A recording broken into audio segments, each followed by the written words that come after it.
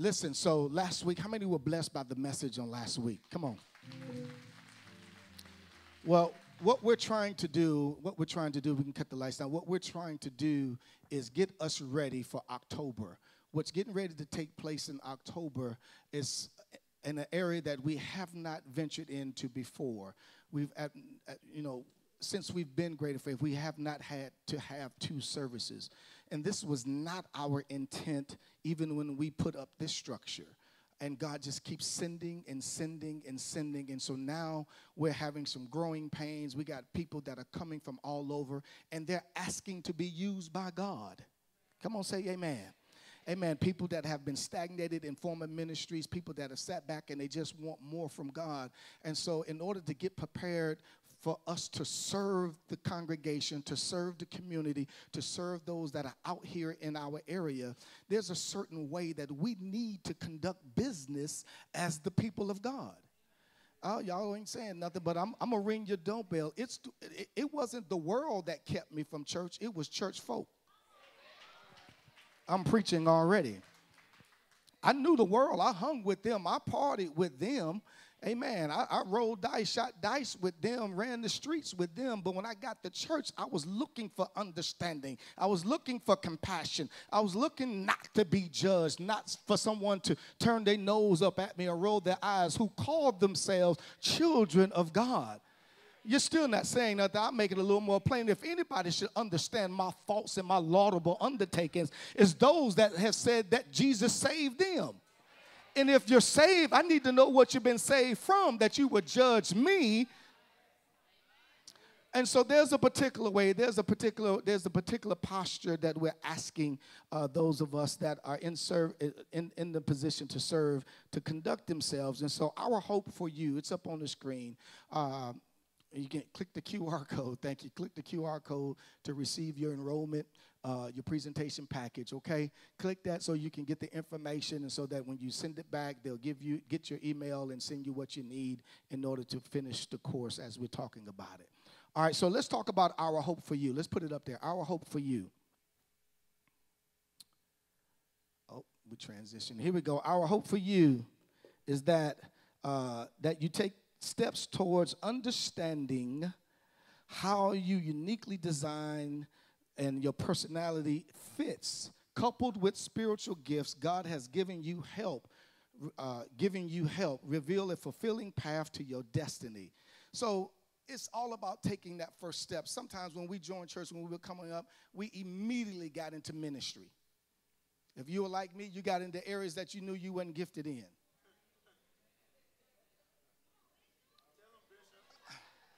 I'm trying to be honest. Where my church at? I know we got some. Let me talk to my people. You were, you were on the usher because your cousin then was on the usher. You was in the choir and you couldn't sing, and when they wanted to try to figure out who was off key, you started pretending.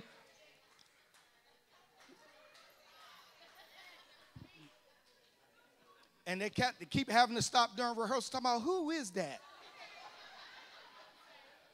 And it was you. It was me too. Yeah, so and so and so and so we understand here at Greater Faith that if you're going to be in ministry, we want you to be in a place that you're gifted, that you love doing. Because if you love doing it, we won't have to make you. Come on, where are my OCD people at that just love cleaning? If somebody spills stuff, well, we need you on the cleaning ministry. Come on, y'all. Where are my people that smile all the time, that can talk, start a conversation in an empty room? Where you at? You need to be at the front door. So Proverbs 25 and 2 says, before I bring Lady up, says, it is God's privilege to conceal things and our privilege to discover them. Together, let's discover all that God has planned for our generation and make a positive difference for the kingdom of God. Let me put it, let me put it like this right here. You thought well nobody around you because then nobody wanted to deal with you. But how many, uh, how many of you would testify that sometimes God has to hide you from you? Yeah, there, there's something, it's not that he don't want you to have it, but sometimes he has to hide it for you. So that if he gives it to you too quick, then you'll be abused, you'll be misused by people, people will run you down, people will wear you out. And so sometimes God has to hide you. Sometimes your best place of hiding is in your problems. Y'all don't catch that? I'm, I'm, I'm gonna make it live for you. When you're going through your problems, that's when you really see who like you. People will step away from you when you're dealing with issues. And God will let you stay there so that all of the excess people and weight will fall off. And while you're sitting there, He's developing you, maturing you, and growing you so that when He brings you out, now you see who really with you. Yeah, kind of like Easter. Do you hide the eggs for the kids or do you hide them from the kids? You hide them for you put each one of them out there in hopes. Well, there's some things in you that God placed in you. He ain't hiding it from you, He's hiding it for you so that He can eventually use you to be a blessing to somebody else. And we're getting ready to show you how and why certain people can't deal with you. Come on, say amen. amen. I think I got another scripture. Let's put it up there. Do I got another one? Yeah, Ephesians 2:10 says this, "For we are his workmanship created where? For what? Which God prepared beforehand. You mean before I told my first lie? You mean to tell me before I did my first drink? This is why your problems couldn't stop you. Because there is a work that He's placed in you that you got to put your hands on. And He's not going to stop until you do. And this is why in some ministries you just sat there. How many of you were frustrated?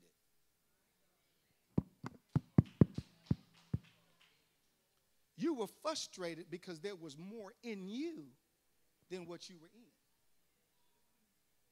So let's discover it.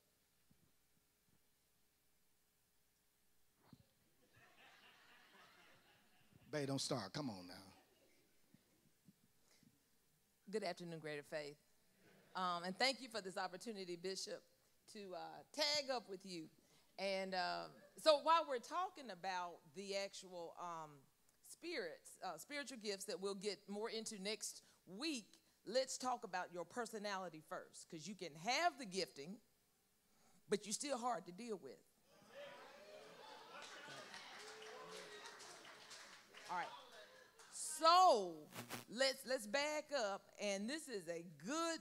I'm holding up a great big mirror so you can see you.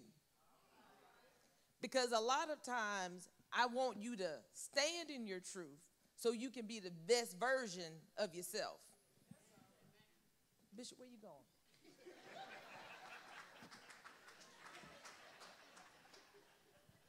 I know where I'm gifted at.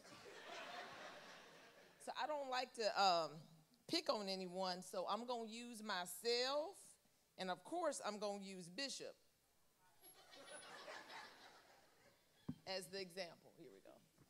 All right, so let's start off with your personality. You know, we always talk about a personality. A personality is what makes you you. Okay? You know, a lot of times, you know, I, have done this before when we've done other um, next steps in the smaller uh, atmosphere. Uh, we talk about such things as um, Bishop. I use Bishop as an example. He is my thug for life. He is a thug for Christ. All right. That's what makes him him. There is nobody like him. There is nobody like you. When we talk about other personalities, we use the word messy. Okay, so what makes a messy personality? Why you had to say messy after my name? It's not you. That, that's not you, Bishop. Oh, okay. That's not you, Bishop. So when we say messy, what makes people messy? Okay, just think in your head those types of characteristics that make them them. Okay. Now let, us um. This is your this is your scripture, Bishop. Okay. Oh, I'm sorry, I'm going backwards.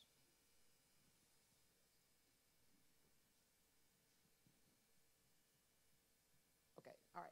So look at this picture right here. It looks like an accident picture, doesn't it? It's, it's not really focused on anything.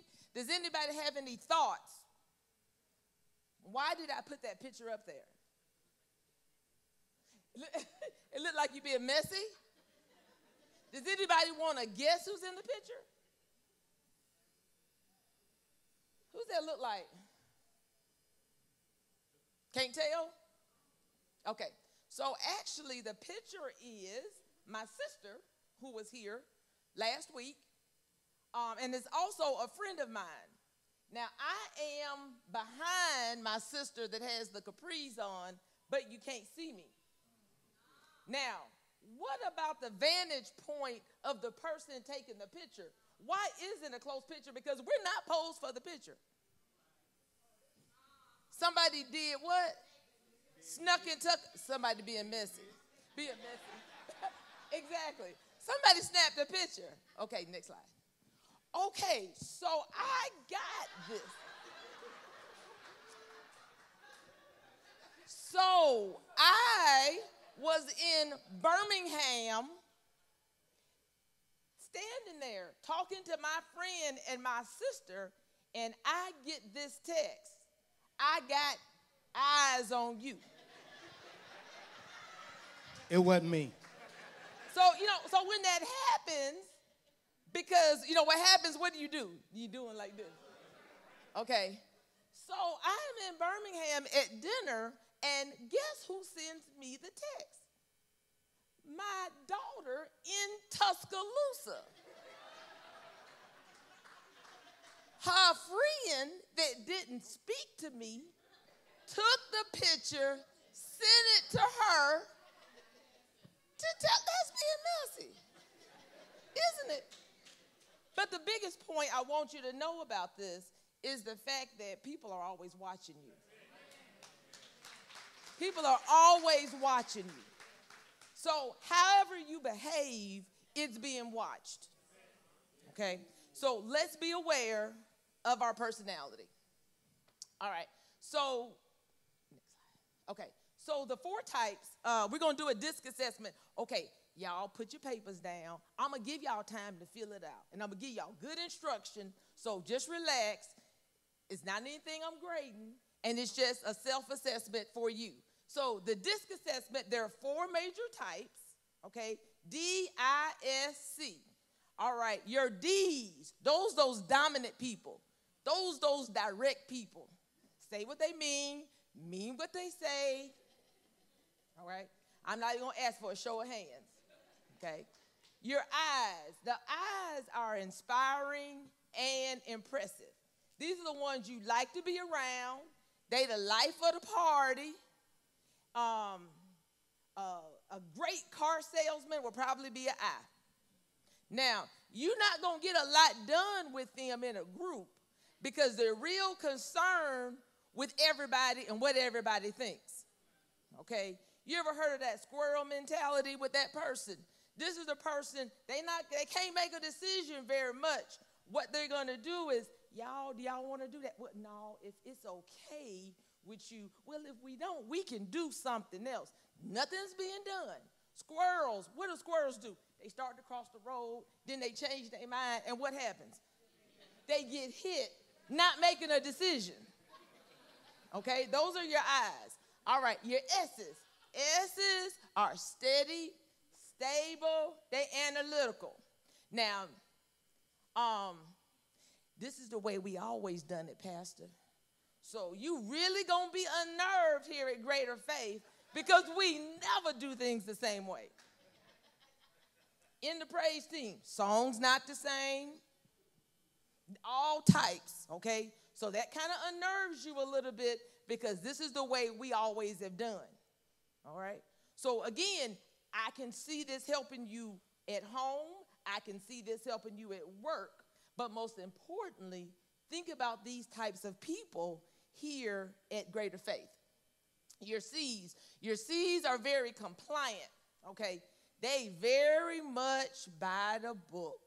They love policies, no gray lines. That's just it. Now, I love Damon because Damon is probably a C. He works with finances. We need somebody following the books so IRS isn't down here and we're in, and we're in trouble. Okay? So there's a place for all of us. There is no wrong personality. There's no wrong personality. But there's always opportunities for growth wherever you are. Okay? Now, some of you all may say, um, I'm not a D all the time. Okay? And you probably aren't. You're probably a combination of that. And so once we do the assessment, once you find out where you are, um, if you register for the course, you will get a whole breakdown after we finish the assessment. Can I say something? Yes. Though people that are D's, they don't get along with people too well. So most most of the time when we have someone that's real dominant in personality, we don't give them a whole lot of people under their charge because eventually they're going to run them away. Right. I need you to think about your job now. We're saying this in ministry, but we're talking work too now. That if you're a D, you don't care about feelings. I just want it done. So we had a couple of staff members that were D's, and we kept them in the back. All they did was was administration. Uh, Elder D Ward, she she didn't care nothing about your feelings. This is how it's gonna be done. If you don't want to do it and you upset, go stand in the corner by yourself. We getting ready to do it. All right. So. All right, next slide. Okay. All right. All right. So the types that we have, the percentages that I have up there, um, is the percentage of the population that is a hundred percent one of these. Okay. Again, most of us are a combination of this, but for the most part, three percent of the population are D's, straight dogmatic, divisive, all of that. Um, B's, okay? So 11%, about 10% of the population is the I. C's, all right, I mean S's. These are the steady, they like, they, they don't like change. So we're saying almost 70% of the population don't like change. Can I jump in there? Yes. How many of you have been part of ministries that they've done it the same way after a while, if you don't change, you don't grow. And if you don't grow, you die off. So now you can see why most of our ministries probably got one or two more generations in it. Because if colleges are changing, you don't wear the same hairstyle today that you wore in the 50s. Everything else is changing but the house of God. All right? Next slide. Uh, so I got scripture in there. I praise you because I am what? God knows everything about you. He didn't make any mistakes. Whatever he needs for you to do, you're already equipped to do it. And your life that you've living and the experiences where you're getting ready to learn is the reason why you've developed some of the things that you're capable of doing. Amen? All right, let's keep going. Okay, so how, how do we come up with the personality that we have? You know, it may be my mama had road rage, I got road rage. How you see people handle things a lot of times teaches you how to handle things even without you knowing it. Okay? Is it the training? Now, a lot of times, you know, people are, and there's nothing against therapy. You realize how not to get worked up over this, how to handle this better. So you seek help. You're going to programs and, and treatments and those kinds of things to be your better version of yourself. Mentors. You don't have to necessarily have an official mentor. You may see how someone handles things, and that is your mentor. It may be somebody you just see on Facebook, it may be just a class, it may be somebody you have never really face to face interacted with, but this is the person that you glean some of your characteristics and or your personality from. So I started off out of college um, working in the emergency department. Okay, so I was all about trauma, blood and guts, and that kind of thing. Now, inside, whenever there was a major emergency, I was like this. But I would look at certain nurses, and if they weren't stressed out, I wasn't stressed out. If Bishop has everything in control, the house is in control. So he is our mentor. He is someone we look to for guidance, how things are managed, and how we deal with ourselves. The other thing, of course, is our life experiences. Sometimes, you know, you ever wonder with two children, why are my children so different? They got the same parents. This one cries all the time. This one's feelings hurt. So, this is how I have to deal with this person, and this is how I have to deal with this person. So, your life experiences has a lot to do with shaping your personality. Uh, I'm gonna go ahead and go into this uh, before Bishop speaks. So the, the next thing is this at any given time, you're capable of doing any given thing. And if you don't believe that, you're gonna be the first person to do that. Okay? You could kill someone. You could. Okay? You could curse someone out and not be a cursor at any given time. So, life experiences, what you go through, helps you to be stronger. Sometimes it's wiser. And also, it may contribute when we get into next week the development of your spiritual gifting with discernment. Babe, you being too nice. Let me, uh, let me, let me, let me go back to that family history. Thank you, thank you. Let me go back to that family history. Y'all know we got some crazy family members. And some of them been so crazy so long that people say, y'all, you just, that's just hot. Come on, y'all. That's just how the girl. Don't don't don't don't don't worry with that's just how they. That's just and and and and because we've been brought up in that hostile environment, we sometimes become hostile in our personality for no reason. Come on, y'all. And then a lot of it is passed on to us. We in the church, we call it generational curses. Come on, when I first joined the military, I had no idea what a checking account was. Yeah, I'm going on this side. Because I grew up on welfare my whole life. And so when I got ready to buy my first car, the guy was like, Do you have any credit? I said, What? I said, I don't have no. I knew my mama had some Fingerhut in my name.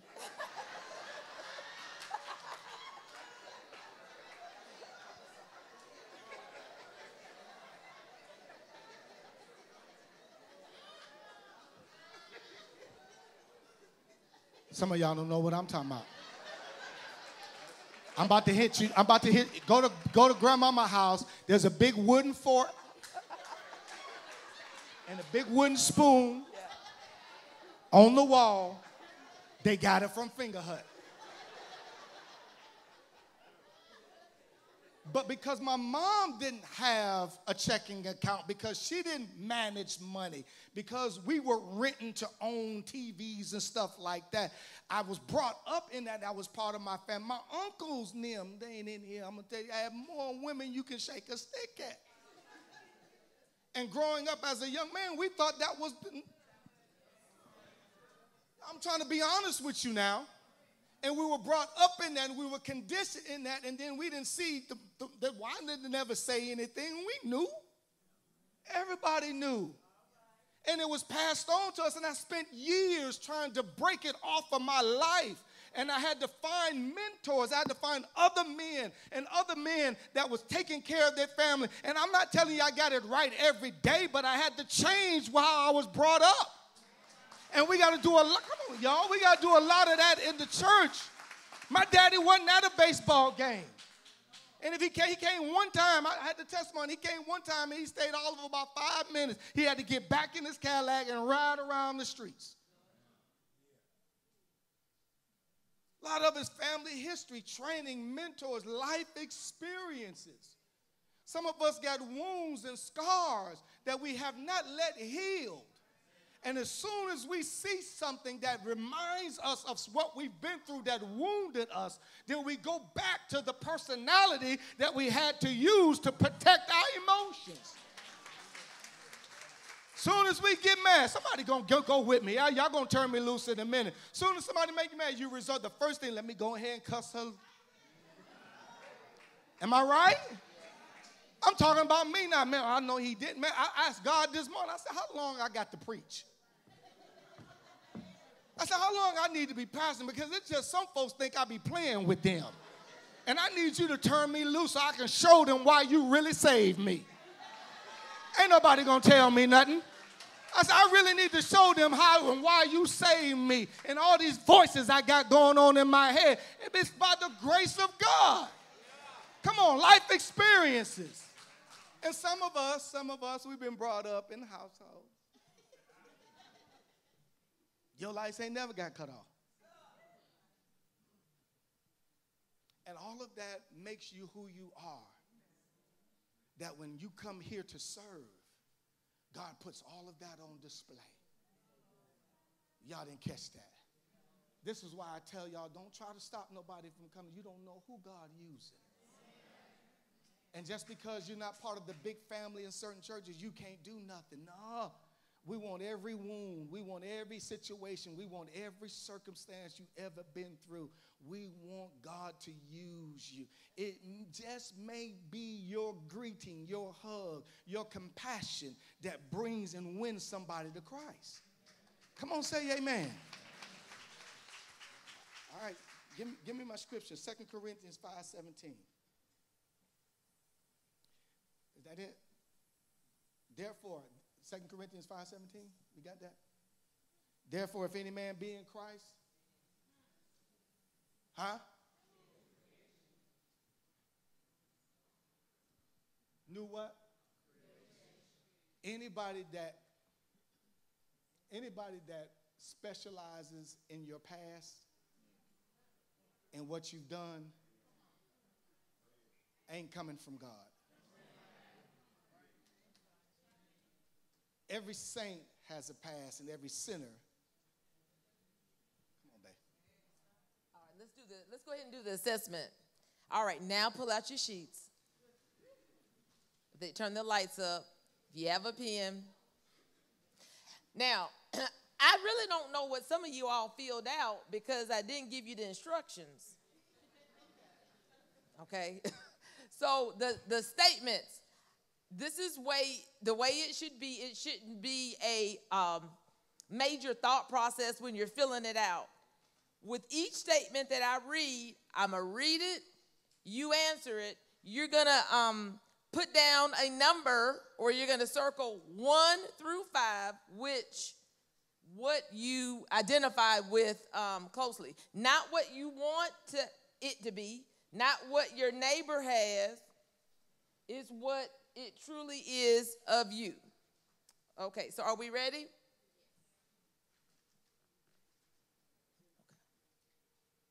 Okay, go back one. Okay, first statement, you are going to circle. I'm going to read at a steady pace, and you're going to circle either from one to five, whether it's never you or whether it's always you, in a range one, two, three, four, or five. First question I am assertive, demanding, and decisive. I enjoy doing multiple tasks at once. I thrive in a challenge based environment. I think about tasks above others or myself. I am motivated by accomplishment and authority. Okay, what I need you to do in that section, the highest you can have is 25. If you would add those numbers up and put that in blank one. The highest you'll have is 25.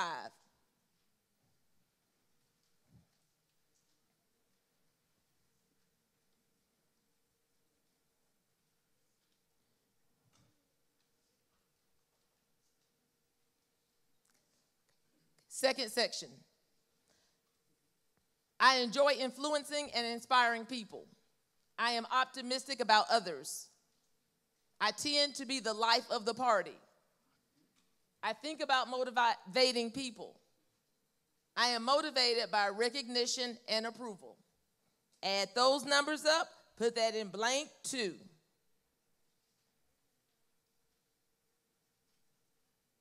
25 will be the highest again. Section 3. I thrive in consistent environments over changing ones. I prefer specifics over generalizations. I enjoy small groups of people. I prefer being a member of a team over leading the team. I am motivated by stability and support. Add those up. Put that in the, in the blank for number three. Number four, I typically do not take big risks. I love task, order, and details. I am right most of the time. I comply with clearly defined rules. I am motivated by quality and correctness. Add those up and put that in the blank. Okay, only if you uh, subscribe um, to subscribe to this channel uh, will you get the full definition of your answers. However, you will be able to see at this point where your highest points are. So it may be, it won't be just a D. You're going to have a couple of, of ties. So you may have 23 points for D and you may have 20 points for I. So your personality is a D slash I. Okay? a D slash I. All right. So you may have a couple of uh, variations if you have several ties. However, again, uh, when you register for the course, you will get your interpretation. Also, it describes your personality in, in depth. It also gives you a scripture reference, and it will also give you someone in the Bible who has that same personality trait. So even though you think you have a poor personality, there is someone in the Bible that identifies with each of you. Okay? All right, so um, I'm just gonna uh, show you this quickly. It gives you a couple of um, key points. If you know you a D without looking, how about listen more, talk less? If you a D and you know you are D, okay, develop a greater appreciation for others. All right, support others. Everybody else on the team has valuable ideas. Now, this happens in any of the ministries that we have, and I think it's a good life lesson for us because Bishop says he does not do divisiveness. We're a nice church, we're a kind church, everybody matters. All right, I. Next one. All right. So it says these are the I, very inspiring. Again, you're going to meet a lot, but you're not going to get a lot accomplished. Okay? So talk less, listen more. Slow down your pace because you have all these thoughts in your head, um, but nobody's able to follow you. Okay? Because you're all over the place. Um, you're to talk for an hour in the meeting, but y'all didn't accomplish anything. Y'all didn't decide anything. Okay? um, help with the task more instead of having all the ideas. All right, next slide. S's. All right, these are the ones steady people. You got to realize change is inevitable. It's okay to change. It's okay for things to be done a little bit more differently, and then also try to accept it um, and try not to have such a hard time with it. So, more directing your actions with things, um, develop more flexibility, and try to show more initiative. Initiative is change. All right, see? All right, these are the ones that are very compliant. All right, always by the book. All right, try to concentrate on doing right things, not always things right. Okay, there, there are great lines in things. Uh, be less critical of others, be more decisive, um, respond more quickly to accomplish the goals, um, and try to focus less on facts and more on people. So, of the four personality types that we have, your D's and your C's are worried about getting the job done. If you're a straight D or a straight C, Your I and your S really more worried about people. So you need to develop a balance with those two. Look what it says, John 14, 12. We're almost done. Truly, truly, I say unto you, he who believes in me, the works that I do, he will do also. And what? If you've been sitting around and God have not been using you, I came to tell you to get ready for greater works.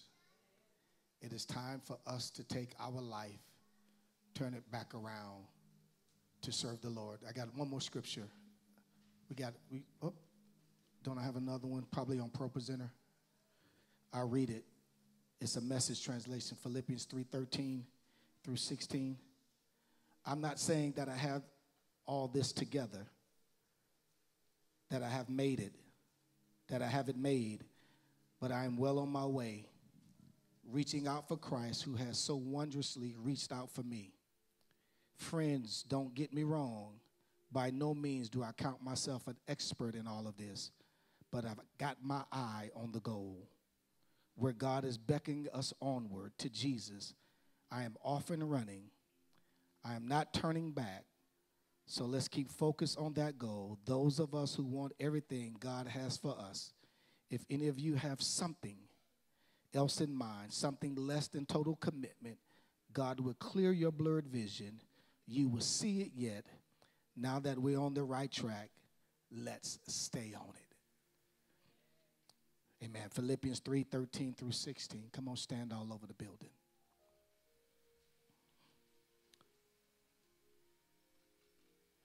I want to thank you for your patience. I know this may not be the jumping up and down that some of you came for if you're visiting for the first time.